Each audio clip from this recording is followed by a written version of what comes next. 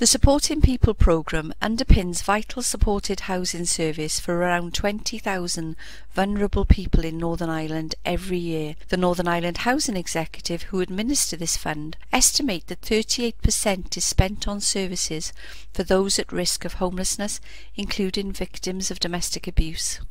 Many different groups of vulnerable people benefit from support from this programme, and yet domestic abuse is the only strand where access to services is distinctly restricted to service users solely on the basis of their sex. Male victims have not been identified as an area of priority need, and that in the absence of support, the NI Housing Executive work with them to identify temporary accommodation, which largely means allocations in homeless hostels.